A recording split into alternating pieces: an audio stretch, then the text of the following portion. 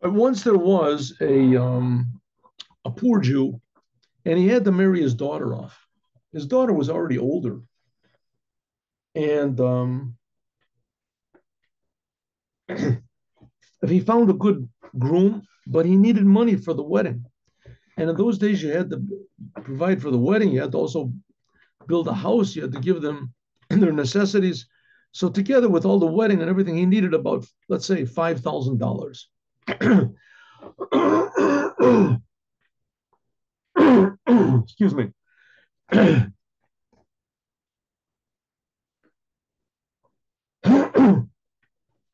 so we needed five thousand dollars. So his wife said, "Go to Rabbi Eli Melech Milizhinsk. He'll give you a blessing, and it could be he'll even give you the money."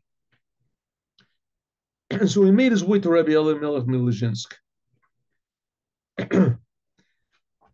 he was a big, a, a well-known, holy, very, very holy person. This is like about 250 years ago. And he poured his heart to Rabbi Elimelech, and he said, you know, I need five thousand dollars. Let's say five thousand. What is it? Zlatis. I need five thousand for the wedding. And he said, "What? You're in luck, because I happen to have five thousand. Right? This is good." Here you go. He takes out a purse, and the man is just beside himself with happiness. he got all the money. He takes out the purse and he takes out three zlotys. One, two, three. He gives it to him. There you go. So he wants to say to the rabbi, you know, listen, I, I said 5,000, you know, but the rabbi repeated it. He knows what the rabbi heard. He gave him three zlotys. So he thinks to himself, this is probably a test. He's testing me to see that I'll be happy with whatever I got. So he gives a big smile. Thank you so much, Rabbi. I really, truly appreciate it. The rabbi said, Oh, it's nothing. I just, you know, help another Jew. That's why I'm here. You know, just that, especially a wedding. We're starting a new family in Israel. You know, God bless you. And I would like, I wish I could come to the wedding, but I'm very busy. And uh...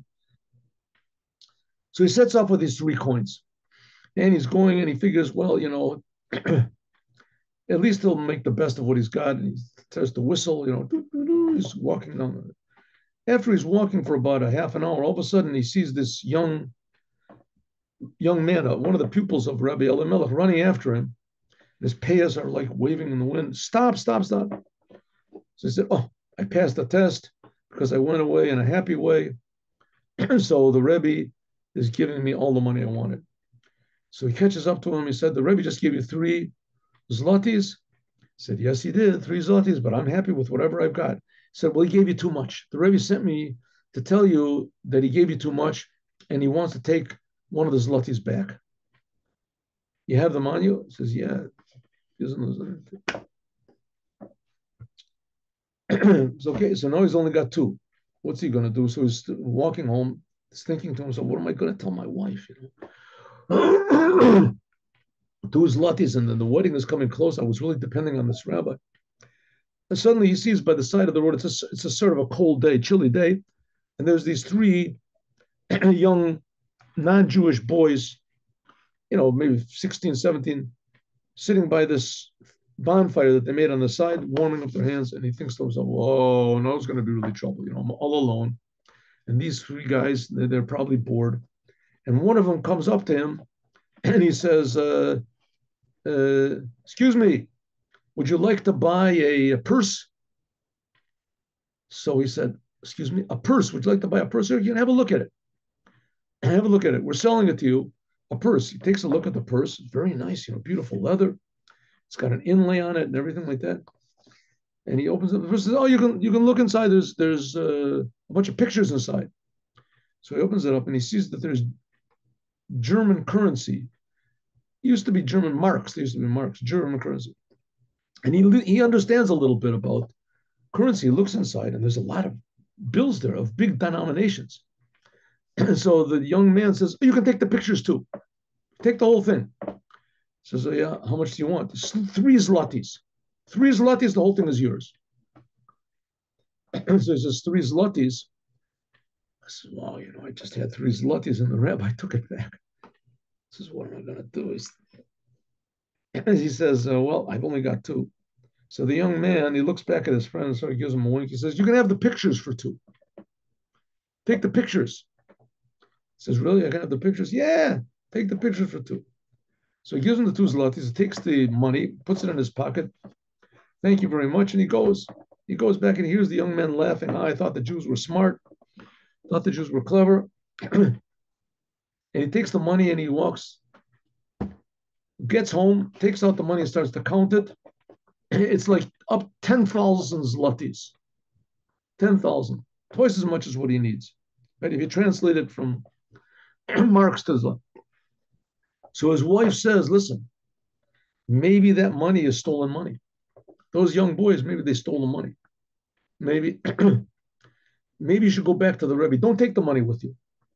Go back to the Rebbe and ask him, tell him the whole story, and ask him what uh, what you should do with the money. what you should do. Maybe they stole it from a Jew. Maybe they stole it from somebody else. You have to return it. You have to. I said, okay, good. You're right. My my my wife, you're right. So the next morning, early in the morning,